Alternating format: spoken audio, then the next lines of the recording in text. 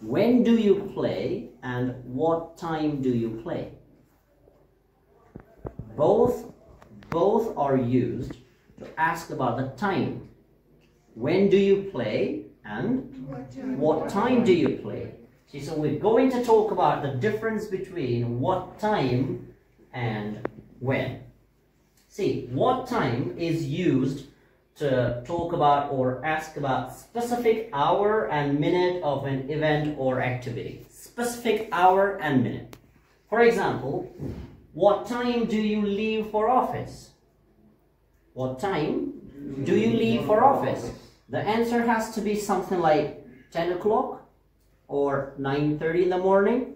So the, what time it is asking about the specific hour and minute specific hour and minute. Mm-hmm. What time is the match starting? This question cannot be answered by Saturday. No. What time? So you have to give the exact or specific hour and minute. What time is the match starting? Say 7.30.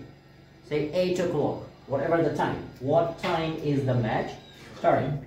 And talking about when, it's used to talk about the general time or period of an event without specifying the exact hour and minute. It can refer to the day, week, month, year, etc. Or a vague time frame. For example, when is your birthday? What is the answer? It's a day, right? When is your birthday? When are you going on vacation or vacation, this word has two pronunciations. It can either be pronounced as vacation or vacation.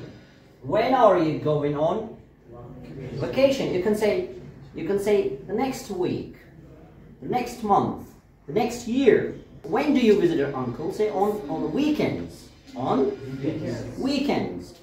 What time? Repeat after me. What time do you leave for office? What time do you leave for office? I leave for office at 8 o'clock.